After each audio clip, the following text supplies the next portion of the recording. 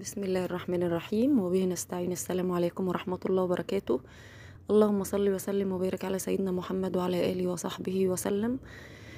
ازيكم حبايبي؟ عاملين إيه؟ أنا طبعا النهارده إن شاء الله بإذن الله كده هنزل لكم فيديو مش كبير قوي. آه الحمد لله. بس قبل أي شيء بشكر كل اللي طلبوا مني صلصة ودعموني. يعني الحمد لله هي اتباعت وناس تانية طلبت. فيعني ربنا يبارك لهم يا رب كلهم. أنا بس هنزل لكم هو في order مطلوب مني آه حد يعني جايب لي آه كبد كبدة وكبد وقوانص وفشة ومخاصي. أنا طبعا نضفتهم قبل الفيديو علشان ما أخدش وقت كبير في الفيديو. آه بس منضفاهم زي الفل ومقطعاهم كل حاجة لوحدها في كيس لأن هو ده طلبه يعني. وأنا هعملهم قصادكم برضو وفي نفس الوقت أنا برضو في order صلصة يعني اتطلب مني فاللهم لك الحمد يعني آه، اوريكم شكله بس وأنا بعمله. إن شاء الله بإذن الله. بصوا هي هي القوطه أنا غسلتها طبعا وحطيتها زي ما أنتوا عارفين وعاملة البصل وظبطت الدنيا يعني. أنا بس بوريكم يعني وبضرب أهي البصل وشغالة فيها. طبعا دي الخضرة أنا جبتها غسلتها لأن أنا بحب أحط تحت ال- الحاجات الكبدة وال- والقوانص والفشة والحاجات دي. طبعا خضرة كل الناس كده. أنا بغسلها طبعا أهوت. هغسلها كويس جدا وبعدين هلفها في فوطة علشان إيه تنشف من المية كويس. إن شاء الله يا ربي آه، هحط خلاص بقى الزيت أهوت علشان خاطر أنزل الكبدة. بصوا أنتوا هتلاقوني حطاها في كيس أنا منضفة كل حاجة ومقطعاها وعاملة كل حاجة في كيس لوحده لما الحاجة جات لي عشان أعملها. حطيت حبة زيت بس آه، علشان خاطر هو اللي طالب بالحاجة مش عايز سمن يعني يعني مش عايز آه، إنما في العادي أنا بحط زيت وسمن. بصي وأنا بقطع الأكياس بس هعمل كل حاجة لوحدها. لأن المخاصي أنا بعملها ببصل هتشوفوا شكلها عامل إزاي وهتشوفوا هعملها إزاي. وال... والكبده عادي أنا هشوحها بس بفلفل وملح وكمون. وتوابل طبيعية بس هتشوفوا برضو هتتعمل إزاي. أنا كده جبت بصلاية عشان المخاصي هقشرها اهو اغسلها وهقطعها جوليان. اهيت بنضفها. بصوا أنا نزلت الكبدة في قلب الطاسة هبدأ بصوا أظبط فيها كده أقلب فيها لحد إيه لما تبقى كلها تتشوح لون واحد.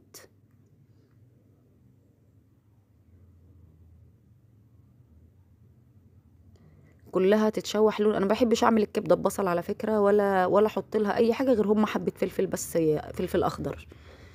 بتبقى حلوة جدا بس أنت تزودي قدام ال- الحاجة يعني اللي هو الزيت أو السمن بتخلي الحاجة حلوة جدا. بص أنا بقطعها جوليان. بالمناسبة أنا عايزة بس أقول لكم إن اللي يشوف يعني أنا مش عشان شيء أنا الموضوع ما بيفرقش معايا. بس اللي يحس إن شكل إيدي مختلف عن أي عن أي شكل يعني. فده لأن أنا عندي ده ناتج عن مرض جهاز مناعة يعني. بص أنا بحط زيت أهوت للمخاصي.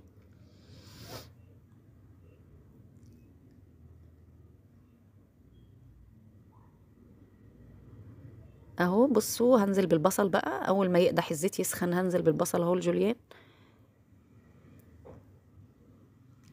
بصوا الكبده هي بقلب فيها على أساس بص شكلها عامل إزاي. على أساس كل ما تستوي بعد ما تستوي وتبقى خلاص استوت بصوا هنزل بالفلفل. ده فلفل رومي أنا مقطعاه منضفاه بس برضو هعمل قرن فلفل حراق كده هجيب قرن فلفل قصادكم اهو اقطعه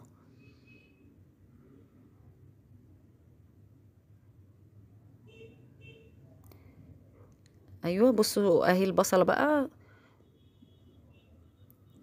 اديني بقلب ال- الفلفل. مش هسيبه على فكرة مش هقلبها كتير. أنا بس تقلبتين تلاتة كده وبعدين هحط لها التوابل بتاعتها وانشلها بصوا المخاصي حطيتها. بصوا أنا ه... أنا ه... الطاسة صغيرة فأنا هجيب طاسة أكبر هقلبها فيها. لأن دي صغيرة مش هعرف أتحكم في إني أعملها كويس فيها. أهي. نقعد بقى نقلب ونشوح فيها كده. ما تستعجليش عليها لأن هي ده حلاوتها. بصوا هحط بقى التوابل بتاعة الكبدة. أنتوا لو شميتوا ريحة الكبدة ملهاش حل. والله يعني الصوص بتاعها غير طبيعي. اهيت الكبدة اهيت خلاص. وحطيت بقى عليها فلفل أسمر وحطيت على فكرة بالمناسبة اللي حطيته دوت حبهان على ورق لوري أنا أنا طحناهم على بعض. وبقفلهم كويس. بصوا أنا شلت الكبدة بقى لأن أنا هشوح الفشة في قلب نفس الزيت لأن بتاخد طعم الكبدة بتبقى رهيبة الصراحة. عشان كده أنا مزودة وبعدين اللي طالب الحاجة ده حد يعني عنده يعني مش حابب الحاجة تبقى تقيلة ولا دسمة ربنا يا رب يشفي الكل ويعافيهم. فانا برضو مش عايزة أسيب له دسم في الحاجة كتير. بص دي الفشة. أنا على فكرة سلقاها غسلتها ونضفتها وسلقتها ورميت ميتها وبعدين سلقتها تاني بقى ببصلة وفلفل أسمر وملح. وبعدين لما طلعت رحت مقطعاها شرايح وهشوحها بقى. بصوا المخاصي هي عماله أقلب فيها. هشوح فيها على قد لما أقدر لما أما أحس إنها خدت سوا حلو. بصوا بقى خلاص كده هحط لها ملح بكمون ملح على فلفل أنا عاملاه وكمون وفلفل أسمر وهحط لها برضو حبة حبهان ورق رول مطحون. ودي الفشه اهيت بصوا. خلاص خلصت فأنا هرشت لها برضو فلفل أسمر.